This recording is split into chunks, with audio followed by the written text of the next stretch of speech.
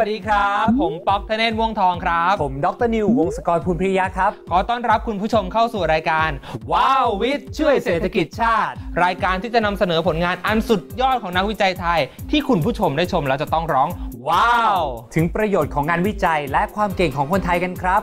โอ้โห นิว ตอนนี้นะ พี่อ่านข่าวนะ ผู้หญิงไทยเนี่ยมีข่าวว่าเป็นมะเร็งปากมดลูกกันเยอะมาก ๆ เลยเนาะ ครับ ถือเป็นปัญหาลำดับต้น ๆ ของผู้หญิงไทยเลยครับ อืม ใช่ แล้วอีกอย่างนะ กว่าจะตรวจพบตรวจเจอนะ ก็ลุกลามไปใหญ่โตแล้วอะครับ จริง ๆ คุณผู้หญิงที่มีอายุถึงเกณฑ์นะครับ คุณหมอแนะนำให้ตรวจคัดกรองอย่างน้อยปีละหนึ่งครั้งใช่แต่เรื่องของการตรวจวินิจฉัยนะครับ พี่ป๊อก มีปัญหาอยู่สองเรื่องใหญ่ๆ ครับ ปัญหาเรื่องแรกเป็นเรื่องของความเขินอาย เรื่องที่สองเนี่ยจริง ๆ เราขาดแคลนในเรื่องของบุคลากรนะครับ แล้วก็ตัวเครื่องมือเฉพาะทางด้วยครับ อืม ก็น่าเห็นใจ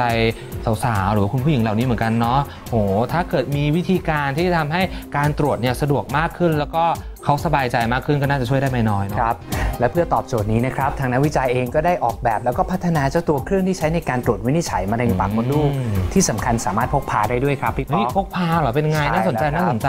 งั้นเดี๋ยวเราตามไปดูด้วยกันเลยดีกว่าครับไปเลยครัชิญ บ นักวิจัยนาโนเทค สวทช ร่วมกับคณะแพทยศาสตร์ ศิริราชพยาบาล พัฒนาเครื่องตรวจวินิจฉัยมะเร็งปากมดลูกแบบพกพา หรือ Inspect DX ซึ่งเป็นกล้องขนาดเล็กที่แสดงผลผ่านจอภาพ ช่วยให้ผู้ตรวจสามารถดูและวินิจฉัยร่วมกับโปรแกรม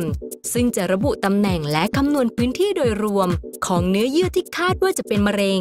และบันทึกภาพลงในตัวอุปกรณ์ และเครือข่ายฐานข้อมูล ที่เชื่อมต่อผ่านระบบอินเทอร์เน็ตได้ ว้าวว้าวว้า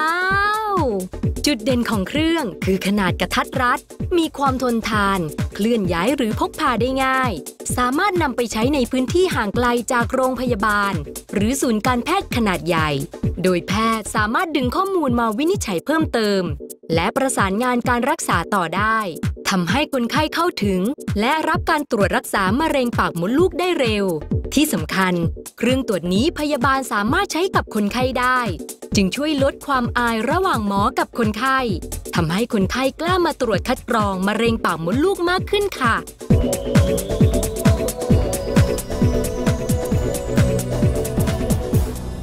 โอ้โห เรียกได้ว่า ตอบโจทย์ครบทุกปัญหาเลยนะครับ ซึ่ง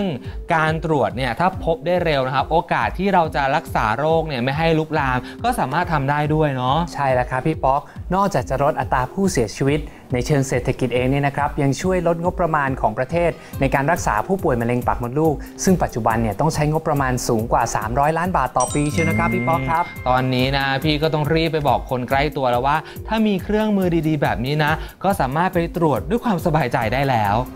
หากคุณผู้ชมสนใจหรือต้องการข้อมูลเพิ่มเติมเกี่ยวกับงานวิจัย สามารถกริ้งกลางได้ที่เบอร์ 025648000 หรือที่ Facebook NASDA Thailand ครับผมแล้วกลับมาพบกับเรื่องราวสาระดีๆ ทางวิทยาศาสตร์ และผลงานอันสุดยอดของนักวิจัยไทย ที่คุณผู้ชมได้ชมแล้วจะต้องร้อง ว้าว กันได้ใหม่ในครั้งหน้ากับรายการว้าววิทย์ช่วยเศรษฐกิจชาติสำหรับวันนี้เราสองคนต้องลาไปก่อนนะครับ สวัสดีครับ